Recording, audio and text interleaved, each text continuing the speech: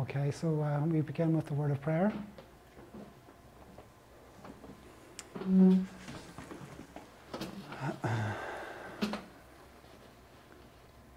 Dear loving Heavenly Father, we invite your Spirit to be with us and your presence to, to bless and to guide in this here study.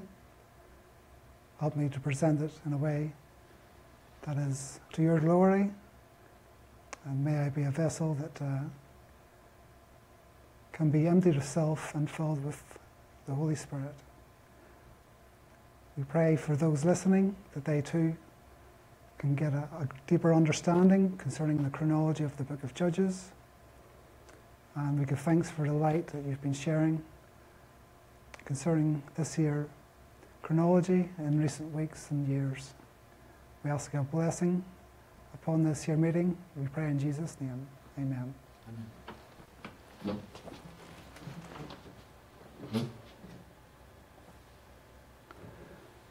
Okay, so this is the seventh presentation. The last presentation I talked about uh, further evidence to help establish the 1533 BC date as the date that the Exodus occurred. Then we looked at the period of Joshua and the elders who outlived him.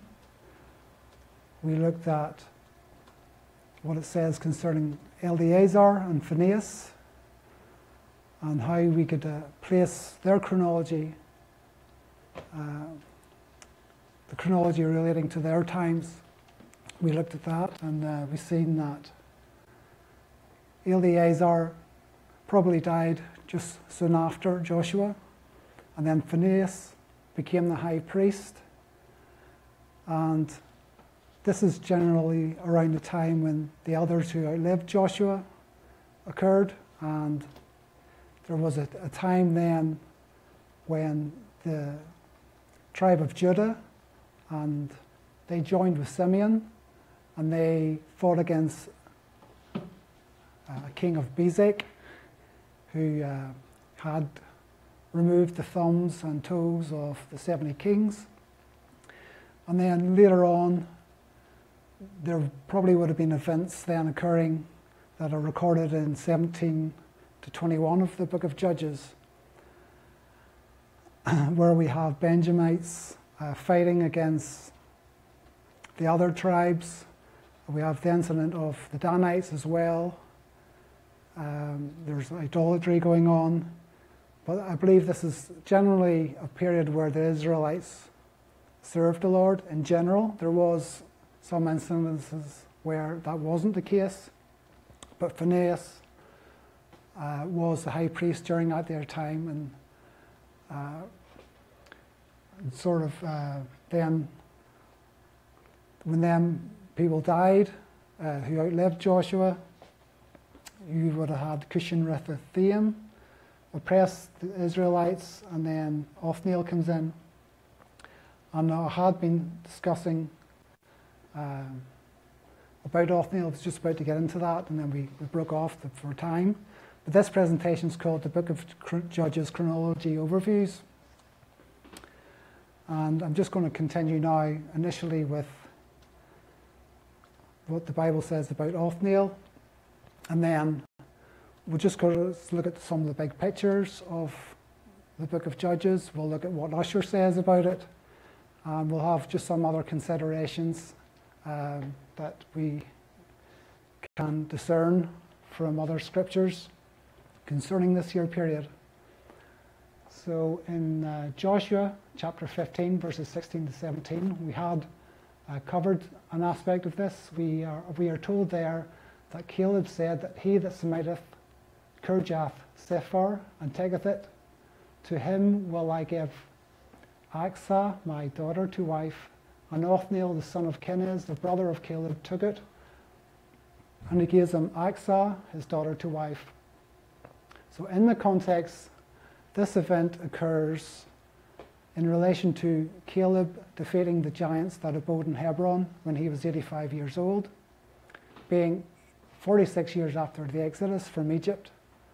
Othniel is not reckoned with the elders who had been amongst those who had crossed the Red Sea, for they had died prior to Israel being subdued by the king of Mesopotamia. Therefore, Othniel would have to have been at least 45 years younger than Caleb. And this is uh, the next paragraph here is dealing with this uh, understanding of Caleb being an older brother to Othniel.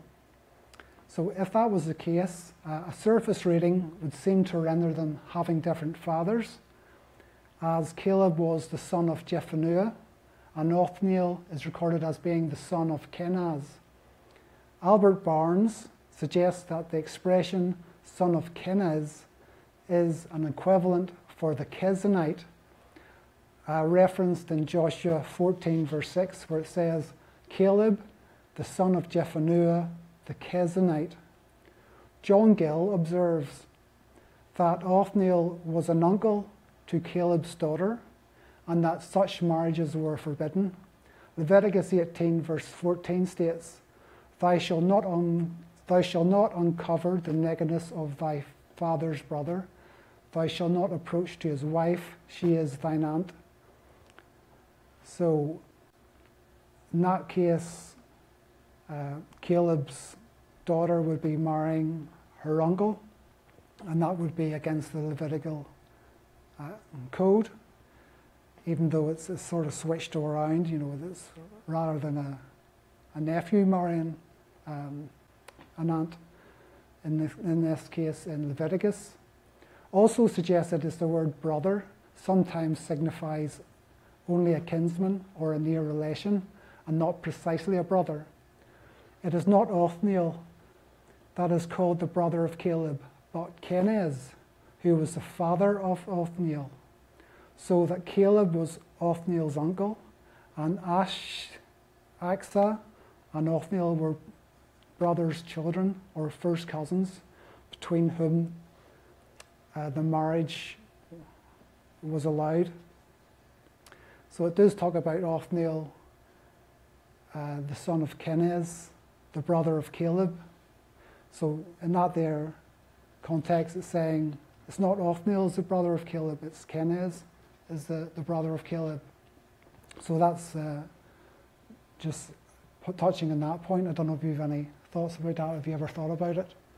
No? Well, I thought about it.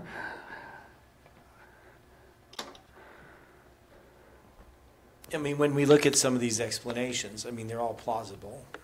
Um, so I don't think that it, it's it's that important. The thing is, it, it, it doesn't really affect the chronology. The chronology is still correct no matter which solution you choose. Mm-hmm. Okay, so I have like a prior drawing with my light pen here. And uh,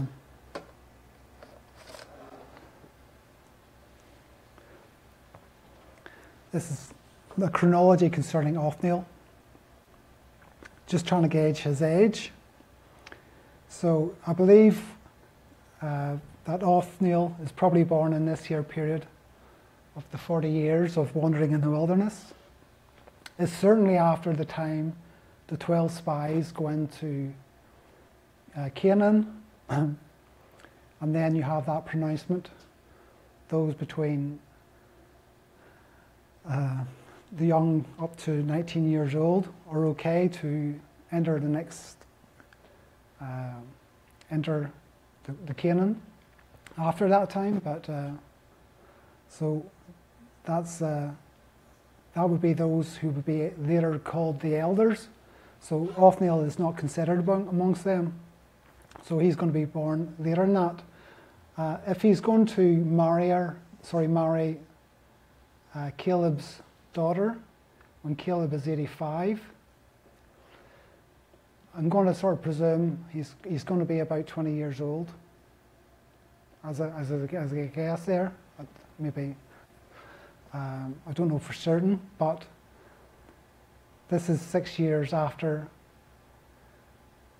uh, they've entered, crossed the, the River Jordan. And so, therefore, Caleb would have been born uh, 14 years before the, the crossing of the River Jordan.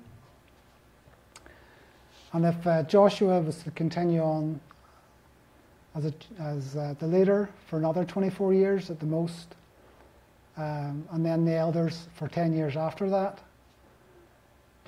um, that would make Othniel then, when Cushan, Rishathaim begins to oppress Israel, about the age of uh, 54.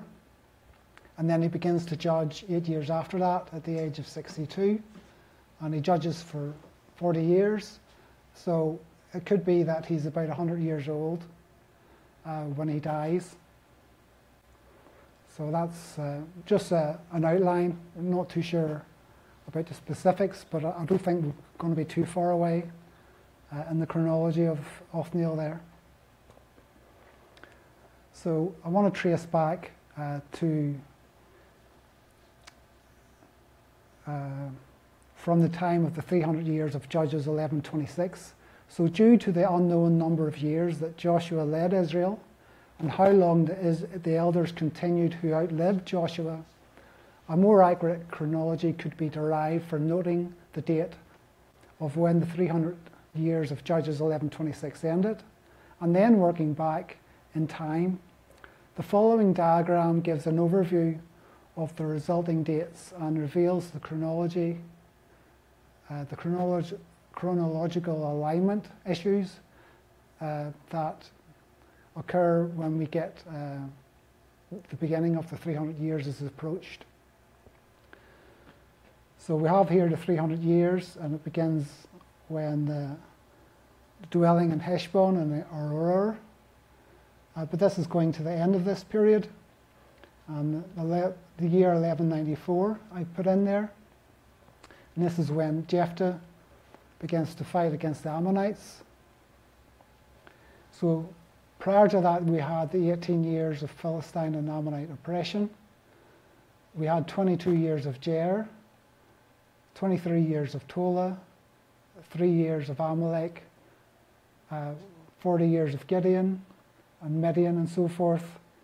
And when we get to Othniel, he begins in this here diagram, if we're going to go back, if they are all in line, he would begin to judge in 1505 BC, which is uh, several years prior to 1494 and the 300 years when they would begin. So we think, uh, or I'm suggesting that Ehud is really the, the, time period there where things seem to change. Ellen White doesn't comment, commentate on that 80 year period, but she does seem to confirm a lot of the other time periods. So I am tending to think that they would be pretty much accurate. I tend to, to think this is, uh, this is when Abimelech, for instance, uh, began to rule in 1260 BC. And I think this here, we can see a date here that connects to the span of time of 1260 years. The papacy is also said to rule for three and a half years, and then we have Abimelech there uh, ruling for three years, so there's quite a, a, similar time period. The papacy was like a, a usurping king and Abimelech himself, he was the first usurping king of the Israelites. So there's a lot of connections there. And he uh, kills 70 of the sons of, of Gideon uh, prior to becoming king. And it's interesting, 70 divides into 1260 18 times. So you have at 18 and then the 70 there. You can maybe see a connection there to July 18 and just in the, the numbers. Mm-hmm. And um, I have here a diagram, um, just done out with the light pen again. And uh, this is 1260 BC. We have Abimelech on the throne, and he's going to in a sense, reign for three years. Now, an inclusive count of 1798 years will take you to 538 AD and the beginning of the 1260 years where we have the usurper king of the papacy going until 1798. And we have 46 years noted then after that until 1844. And we have just a wee bit more than that if you consider the time period for Gideon and the Midianites that oppressed the Israelites. So you have 47 years at one end and then 46 years at the other.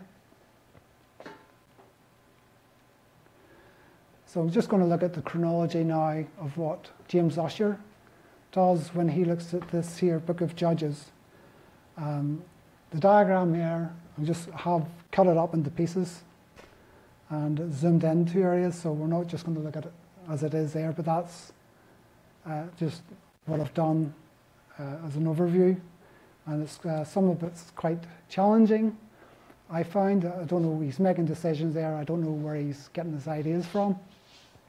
So he has the crossing of the River Jordan in 1451 which is 40 years after 1491, which is the date that he places for the Exodus. And he has five years until the land rests from war. And then another year from when uh, the land is divided by lot. So there's no real um, justification, I think, for that. I, I think the land rests for war and then they just divide the land by lot. I think it's something that can be done in a matter of days or weeks. But he has it, extended it to another year. In that case, it would still give some support anyway to the um, these here six years period. Um, but I think he has that. I think he would be wrong in, in putting five years there. I would put the both, um, both periods as six years. And then he has an, another uh, year from the land being divided by lot into the cities of refuge being selected. And then another year for Joshua building uh, Timnath Serah. And then from there, there's going to be another 30 years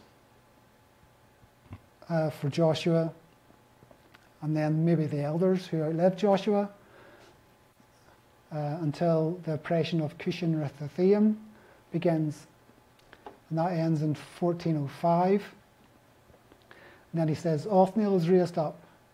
And he, he has this here writing um, concerning Judges 3 9 to 11, uh, which is concerning the 40 years that is mentioned there that the land rests. He says, Ussher writes, the land had rest 40 years after the first rest which Joshua procured for them. So that's the 40 years of Othniel. But he doesn't actually mark it. There's no 14, sorry, if it's 1405 is the start of the them 40 years, they should really end in 1365. But in the, the chronology I've looked at him, he doesn't even mention that date. There is an 80 year period to 1325 BC, and that's when uh, Ehud is raised up. But I don't see any 40 year period being mentioned. He has the year 1342, sorry, 1343 BC, for when uh, Eglon oppresses Israel or Moab for 18 years. And um, that would be then 62 years prior to Cushan Rishathaim's oppression ending and Othniel's being raised up. So it's like uh, 22 years more than what the Bible gives. Have you ever encountered this? No? Um, then after that, there's another 80 year period from when uh, Ehud is raised up. And he, he sort of like Gerto, he has a, a 20 year period then until uh, oppression begins. And he writes about uh, this here period which says the land had rest 80 years.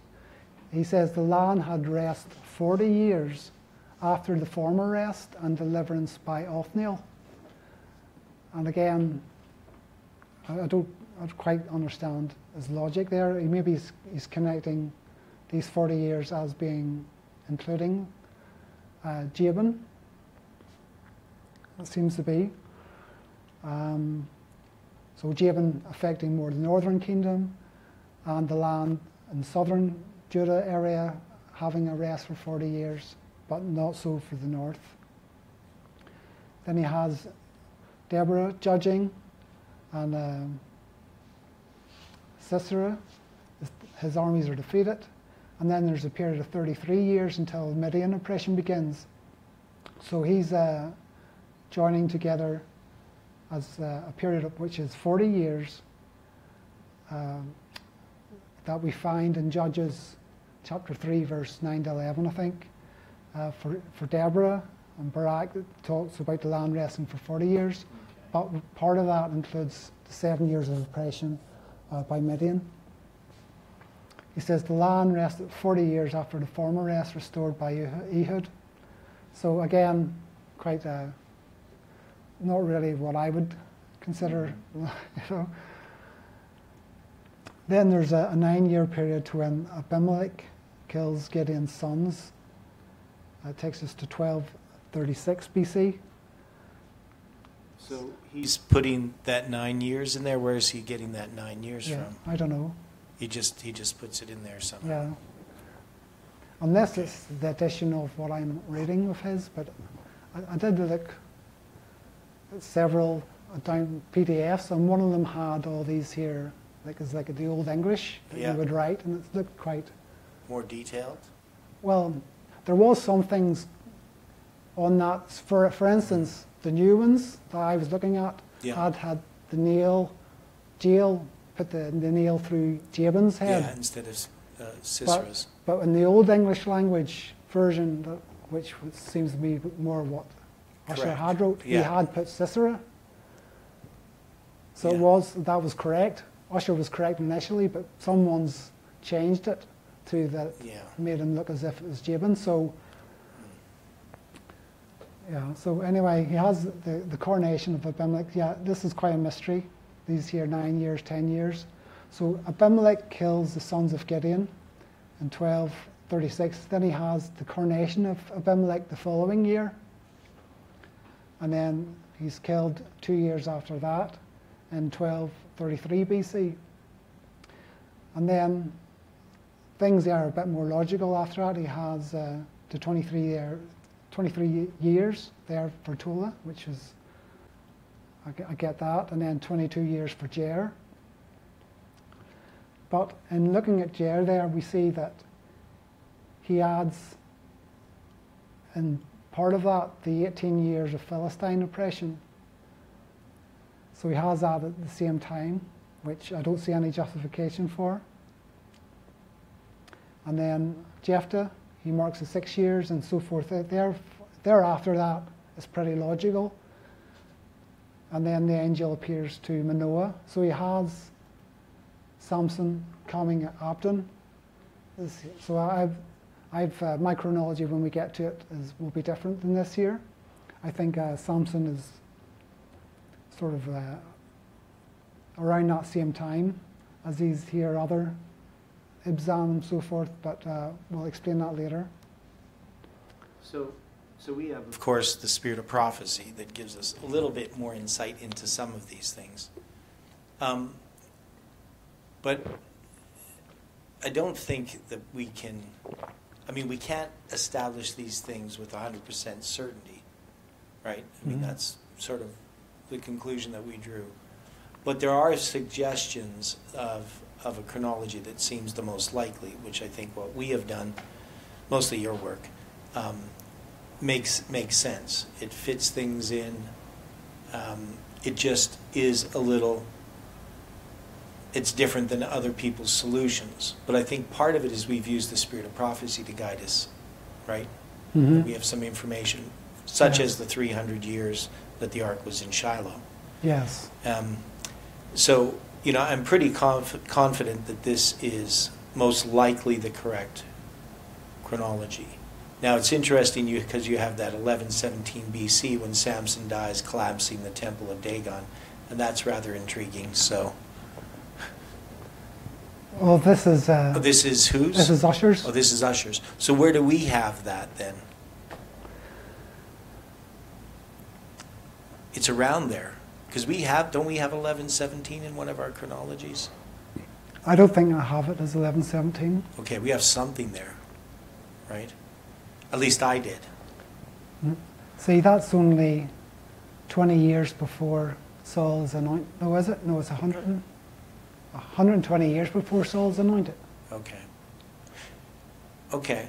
So another question. So um, one of the things you haven't really brought up that we had talked about before. So I know I'm kind of jumping out of this, but when it comes to Ussher's chronology and our chronology, Oh, sorry, it's, it's 20, 20 years before Saul's anointed. Okay.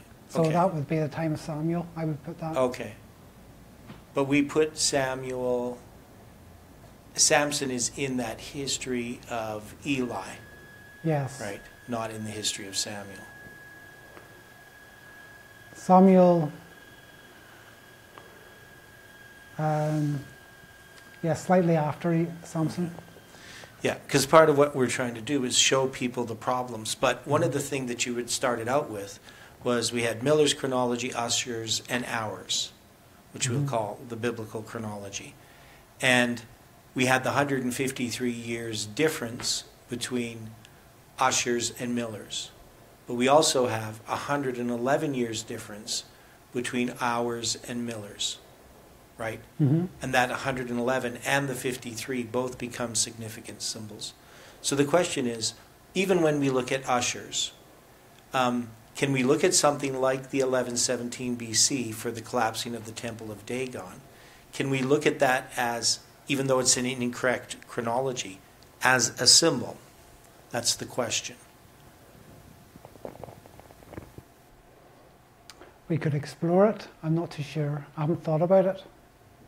I did see that and thought that's interesting, but uh, But we have an incorrect chronology of Miller's, and we take the 153 years as a symbol. mhm.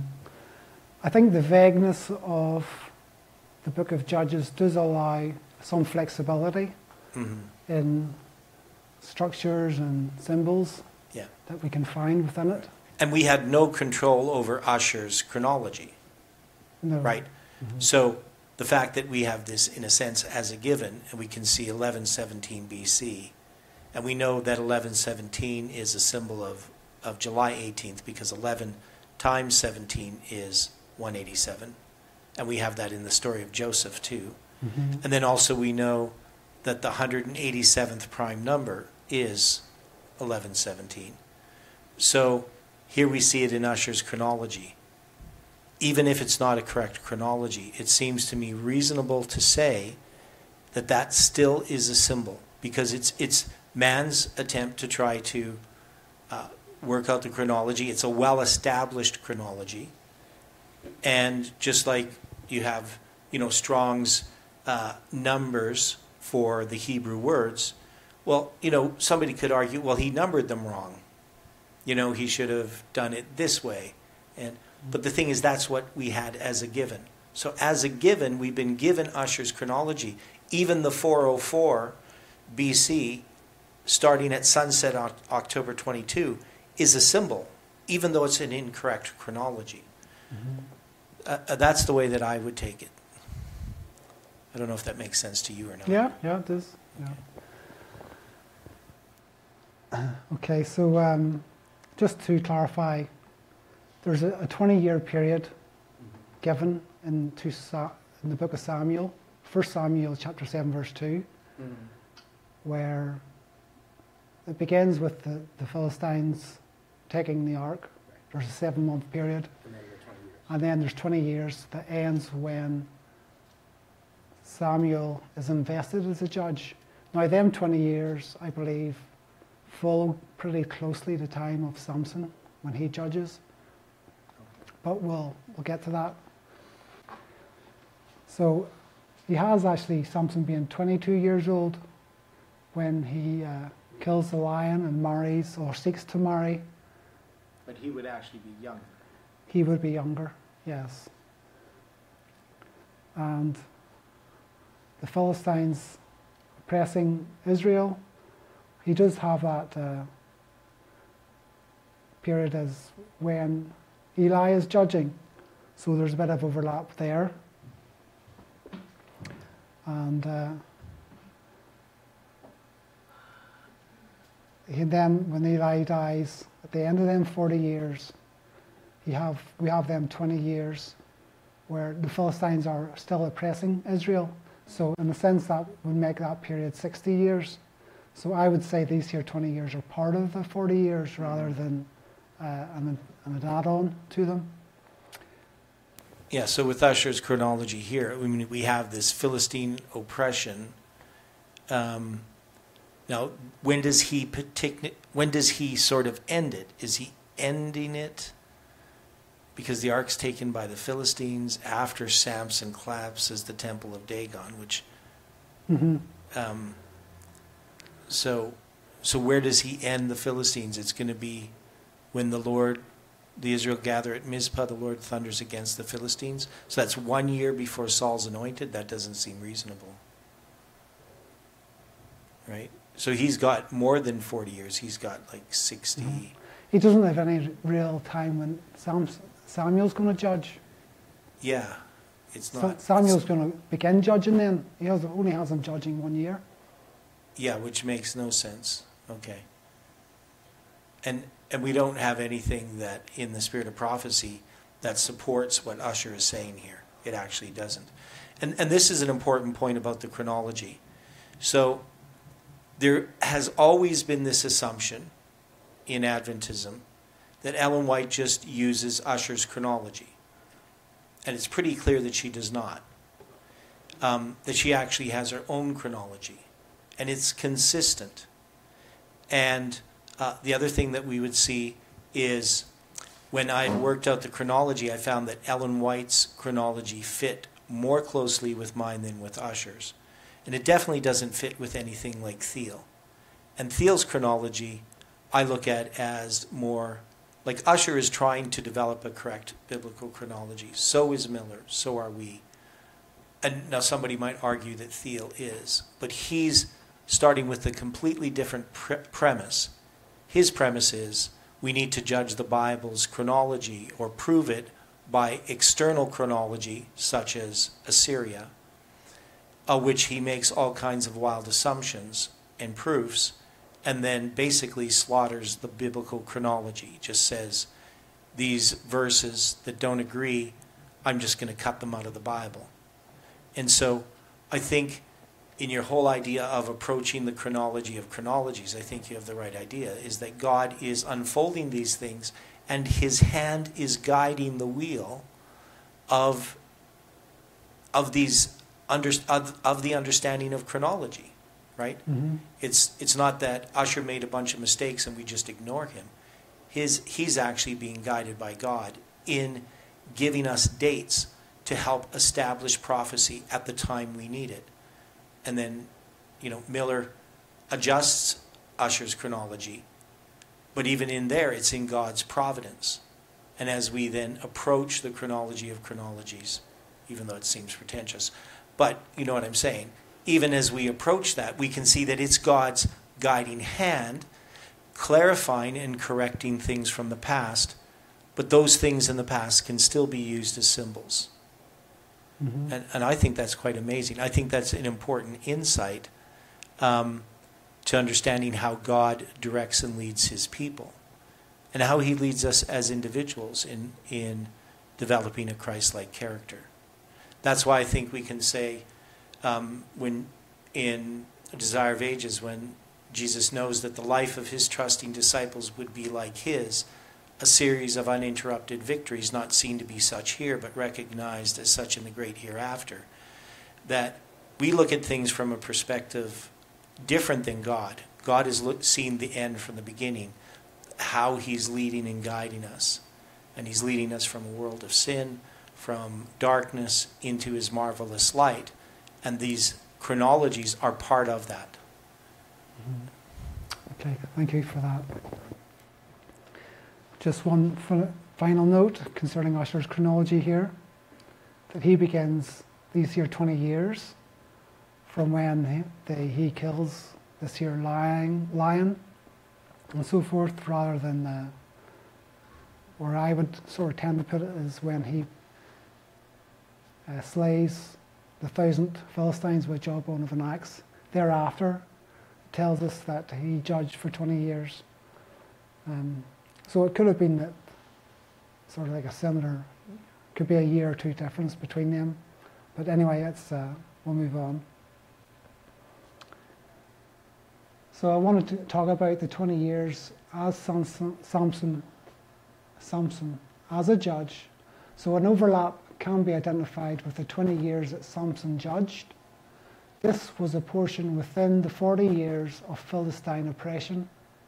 We are told that Samson judged in Israel in the days of the Philistines 20 years, implying that the days of the 40 years of Philistine oppression. So Ellen White, speaking of Samson, states that in the early years of the Philistine oppression, or in other words, soon after when the 40 year period of Philistine oppression had begun, a child was born through whom God designed to humble the power of these mighty foes.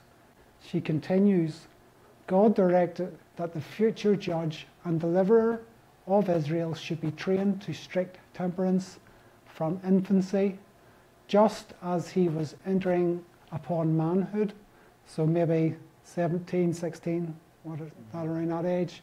Samson connected himself with the enemies of Israel. The beginning of manhood would likely relate to his late teenage years.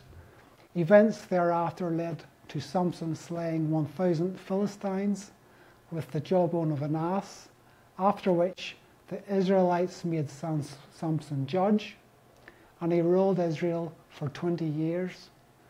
These 20 years would then take us towards the end of the 40 year period of oppression, when he then connected himself with Delilah, lost his strength, and perished after collapsing the temple of Dagon. He would likely have been in his late 30s when he died.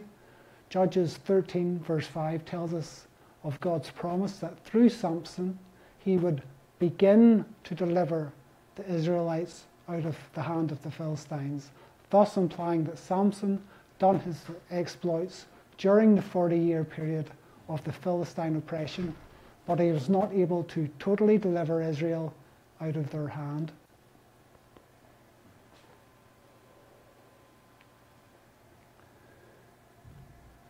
So, taking the, the spans of time that we have in the book of Judges,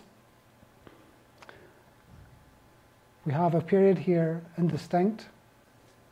Joshua is at the most 30 years.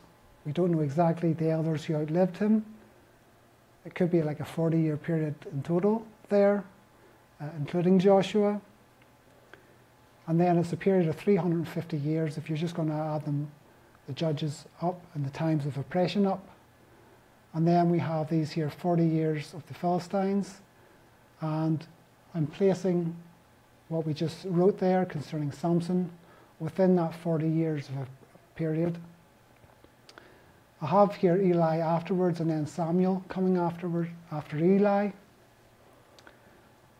We're not told exactly how long Samuel judges, but there's some indication that we can uh, find out. Sorry, you're going to say something? So e- Eli, he, I mean, he's in the time of the Philistines, so Mm-hmm. So so that would have to be also Samson and Eli are in that 40 years, right? Yes. So, So, what? Yeah, but you're I'm- just looking at the at the total right now, yes. but you're putting those 20 years with Mhm. the 40, but not putting the other 40 with the 40. So what I'm doing here, this is the crossing of the River Jordan in 1493 Yeah. BC, and this is the anointing of Saul in 1097, 1097 BC, Mhm. and it's a period of 396 years. And so we have here a period of 350 years, if we were just going to take that there, Yeah, and then, which, and can, fits in within that 396 years, but we also have to add so the yeah, times of the Philistines, the times of Eli, the times of Samuel, and then the times of Joshua and the elders who outlived him. So I'm just saying Yeah, there needs to be a lot of overlap for us to fit this here into a Mhm. 396. yeah. And you've already done an overlap with Samson, but you can see here that, that definitely you cannot fit this into Mhm. that period. Now, so we know that Miller tried to lengthen that period to fit it in, but then it contradicts statements in the spirit of prophecy, his, as Mhm. well, you know, not just from, and also the 480 years, but even how he lays out, um, you know, those, those final um, judges, it's not going to fit with what Ellen White says, what Miller says. Um, so, so I think that we're, we have to fit it in there, and I think that we have to make a case that those two periods of 40 years are the same, just in a different place, different part of Israel. Yes.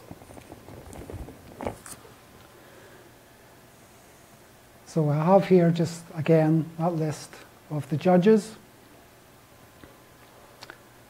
And I've just totaled up the times of those who were oppressing Israel. I've included Abimelech, even though he wasn't an external oppressor, oppressor he was an internal oppressor. Uh, that's 114 years. And then if you total the times of the judges, we have a period of 296 years. And I just want to highlight here that in totaling these up, until you get to the 40 year period of the Philistines, there's 350 years. And then we have the 40 years of the, the Philistine oppression, gives the 390. And this sort of connects with what we had read in uh, Ezekiel chapter 4, verses 4 to 6. There was a prophecy that Ezekiel was prophesying concerning the siege, and he had 40 years for Judah and 390 years uh, for Israel. And like yourself and Ussher, they connected uh, this, these here 350 years to the fulfillment of Josiah. And uh, Ussher's chronology was wrong about that. I think uh, he he had the, the 40 years or 390 years as well, uh, end in uh, 585, I think it was, BC. And he, he didn't connect it to the siege at all. So his chronology was wrong there, but he had the right idea that th- there would be 350 years from that prophecy concerning Josiah that we read about in 1 Kings chapter 12 and 13, or 1 Kings chapter 13 anyway, verse 2 I think, uh, that that there would, uh, would then be fulfilled 350 years later. And then from Othniel to Abdon, we have a period there, if we just add up the, the, the judges, there's 40 years, uh, 350 years, and then we have the 40 years of the Philistines. So just taking out uh, the vagueness there in the judges, that we can sort of just as the spans of time, we can add them all up together. Yeah, and it becomes again a symbol.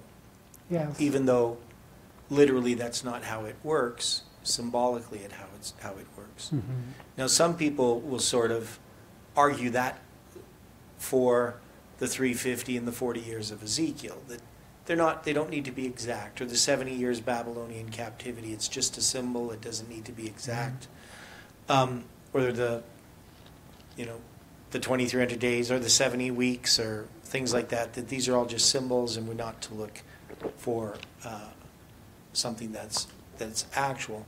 But I think that's a bad argument. I mean, just because we can do that here and see the symbols in this doesn't mean that we don't recognize once we had worked out the chronology and saw the actual 350 and 40 years connected with the prophecy of Josiah, we would have to say that that is the correct chronology because it's Mhm. it's accurate. But some people aren't looking for that and, and they think any sort of attempt at finding a chronology is sort of foolishness. And Willie White had this view regarding chronology. He didn't think it was important. We talked about that, where he makes this argument, well, if it was meant to be, if it was needed, it would be easily understood and everybody would agree. Which, of course, if we applied that to everything, then um, I'm not sure if we would have any truth. Mhm. Yes.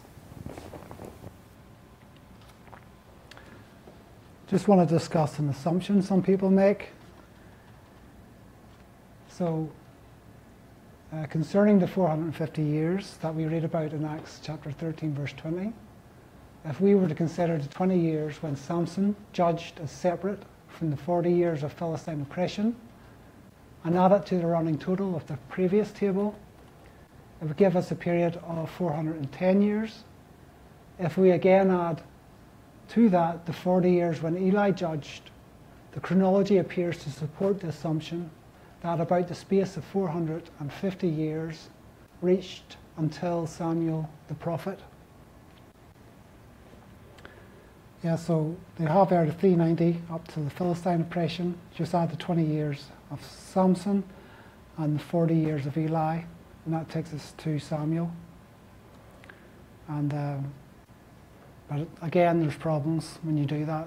Uh, but it, to those who aren't sort of diligent in the sense, you know, um, it kind of just seems an easy answer. It seems logical to them, but they don't really look at other issues. Well, we have to, Admit, this is an extremely difficult part of biblical chronology. Yes. And, and I never tackled it. I mean, Mhm. I looked at it, became befuddled, you know, just. I- I- Mhm. all I knew is that we had the 480 years and that needs to be correct. And I knew that the statement in Acts 13:20 was a misreading of the Greek. So, Mhm. so to me, it, it didn't make sense to have to force this in here. And I knew that William Miller's didn't make sense, um, uh, that it m- missed out things that contradicted the spirit of prophecy.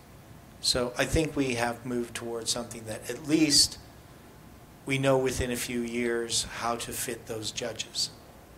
But Mhm. exactly, I, I don't know if we could prove it. But Mhm. I think it, it does work. And we would look at the symbols that we have. So we're just doing the best we can, but it does work. Mhm. Yes. So this is just a, a little bit of an analysis from these here numbers that we find here in the book of Judges. Just taking these first four years of the oppressors, we find for each of them there's another period of eight years, 18 years, 20 years, and seven years within this.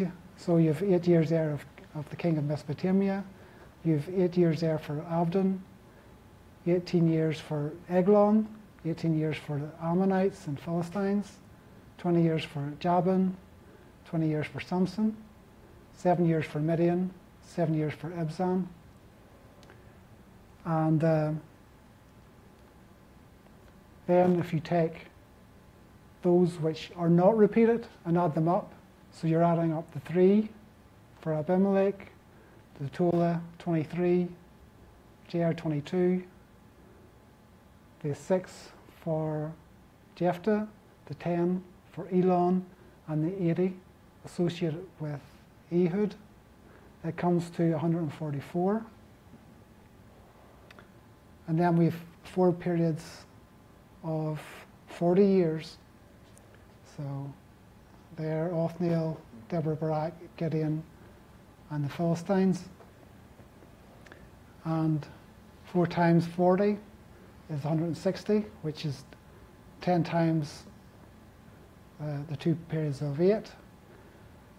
Uh, if we take these here first two numbers, 8, and multiply it by 18, it comes to 144. If we add the two periods of 18, which is 36, and multiply it by the two periods of 20, which comes to 40, it comes to 1,440. So you have within there sort of quite a few number, potential 144 sort of symbols. Now, the two periods of seven years that we find, um, there's a span, if you add up the years of the judges in between, uh, you have 126 years at either side. So you could have 25, 20 days either side of this, this year, 126 years. Sort of forms like a type of mirror. And that sort of, to me, connects with the Mene Tekel Upharsin of Daniel chapter 5, verse 25, where we have a total of 126 shekels, and in gerahs it's uh, 25, 20 gerahs. Another observation, if we were to put these here Philistines, you have a 40 year period there at the, uh, the end, and parallel, sort of mirror that in a sense with the first 40 year period that we find with Othniel and count the number of years in between. It comes to 302. And in prophetic days, this is 10, 8, 7. 108,720. And if we were looking at just the last period, the, the, the last years of the judges, we have Elon 10, Abdon 8, Ibzan 7, and then Samson 20. And so we can just put them sort of numbers together, sort of slightly different order because we'd have Ibzan come after Abdon. Uh, we can get that number uh, 10,800, 108,720. Okay, so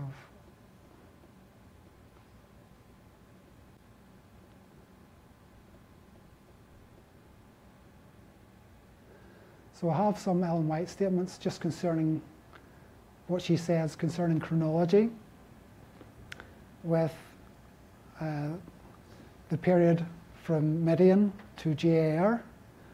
So we had looked at her statements uh, from Othniel to Deborah and Barak before.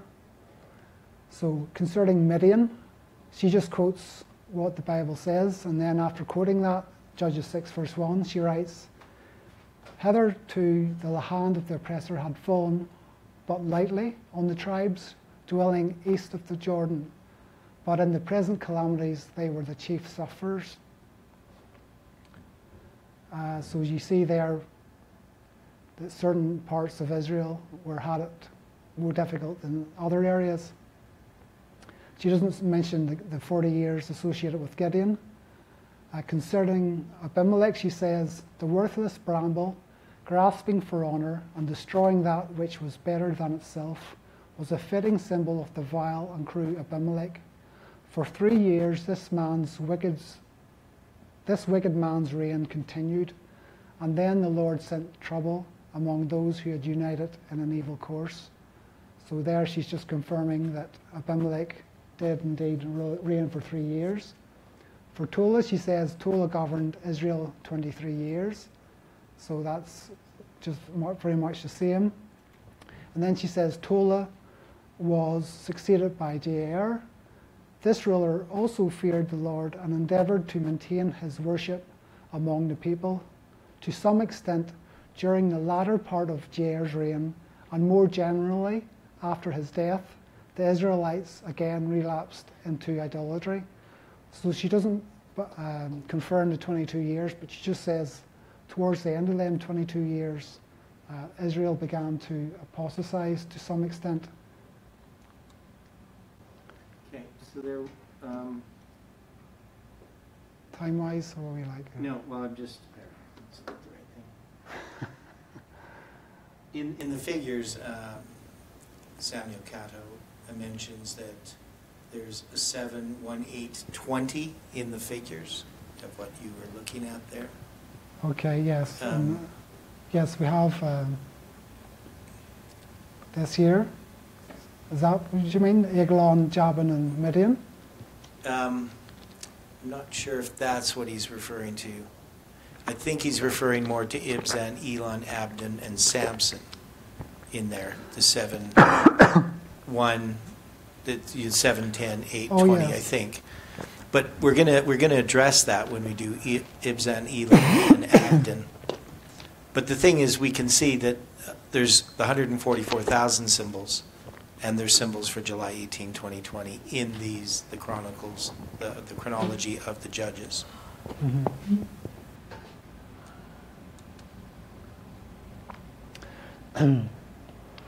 so this was a, a previous diagram. I'd identified the 300 years of the ark being in Shiloh. Takes us to one year past, past uh, Jephthah's six-year reign as or judging.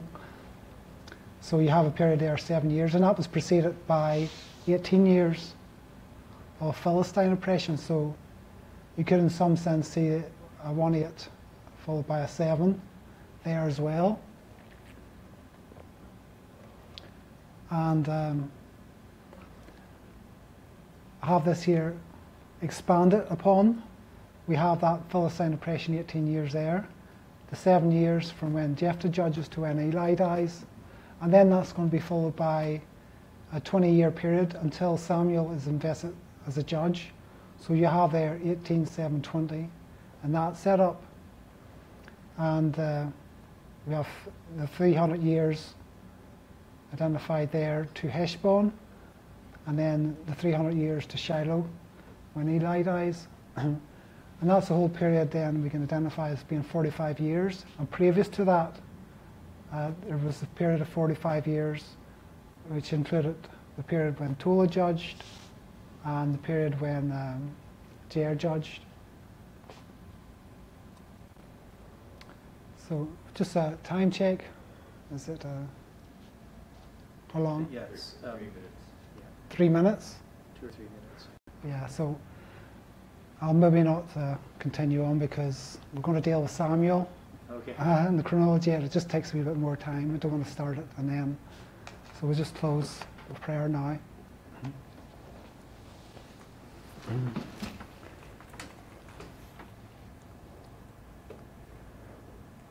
Dear Heavenly Father, give thanks for the, the study that we've just had. Give thanks for the insights concerning these here period of judges, the symbols relating to the 144,000 and to July 18, 2020. And we're seeing that uh, through these here studies that you have been leading us, that uh, you are guiding the affairs of this year movement through our weaknesses, through are misunderstanding and mistakes, Father, and we seek to be corrected in this year chronology, and uh, we ask that um, further light be revealed to us, that we can be humble servants of you in sharing these messages. And we ask your blessing upon Theodore as he leads out in the next study. And we ask these things in Jesus' name. Amen.